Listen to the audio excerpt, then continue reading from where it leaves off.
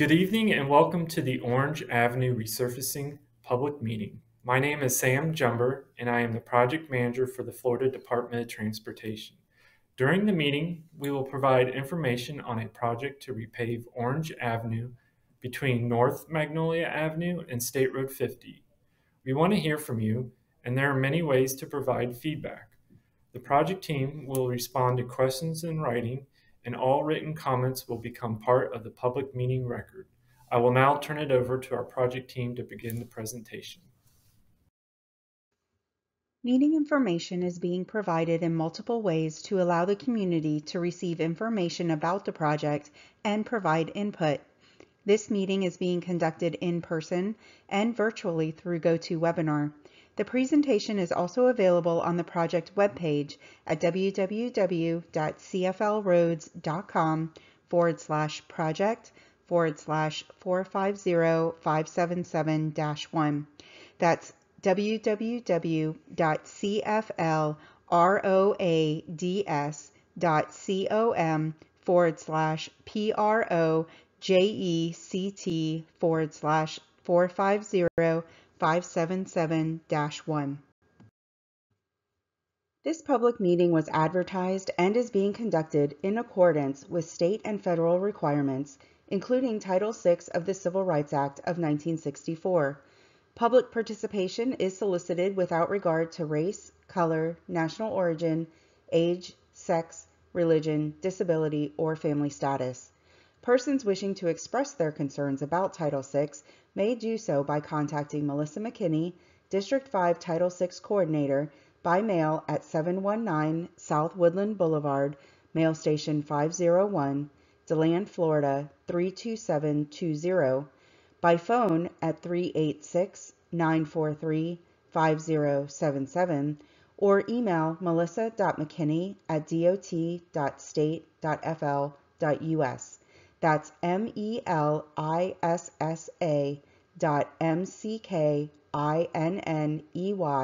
at D-O-T dot S-T-A-T-E dot F-L dot U-S.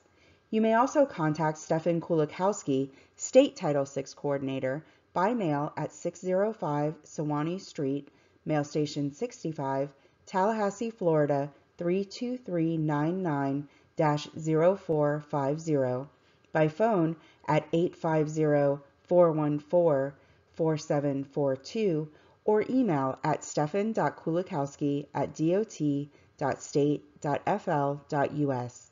That's S-T-E-F-A-N dot K-U-L-A-K-O-W-S-K-I at dot.state.fl.us. This information is shown on a sign at the in-person location on the project website and in the meeting notifications. The purpose of tonight's meeting is to explain the project goals, present the department's recommended improvements to help achieve those goals, and hear from the community about the proposed changes. This project is located on Orange Avenue or State Road 527 from North Magnolia Avenue to State Road 50 or Colonial Drive. The project will repave all travel lanes except for a section from Mark Street to south of Park Lake Street where the road was recently resurfaced. Between North Magnolia Avenue and North Garland Avenue, Orange Avenue accommodates two-way traffic. South of North Garland Avenue, Orange Avenue is one-way southbound. Currently, on Orange Avenue from North Magnolia Avenue to the Legion Place North Garland Avenue intersection, there are three 11-foot wide travel lanes, two westbound lanes, and one eastbound lane. There is a paved shoulder on the eastbound side and sidewalks on both sides. This project will resurface this area. There are no other changes in this area. Currently, from the Legion Place North Garland Avenue intersection to Colonial Drive, there are three 11-foot wide travel lanes that all run southbound.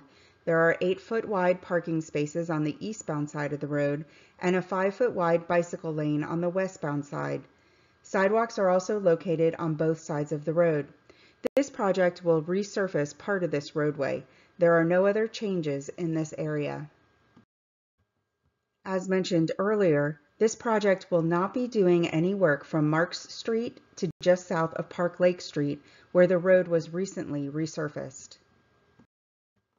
Design on this project is underway and is anticipated to be complete in fall 2025 at an estimated cost of $734,000. All work will be done within the existing right-of-way. Construction is anticipated to begin in late 2025 at an estimated cost of $1.2 million.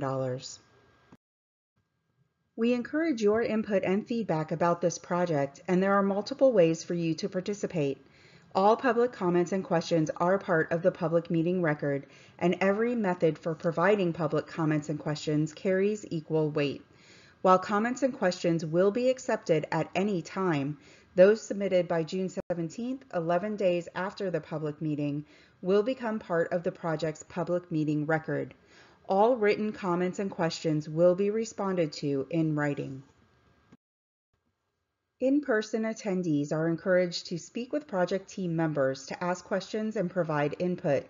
To submit a comment for the public meeting record, please complete a printed comment form and return it to project staff.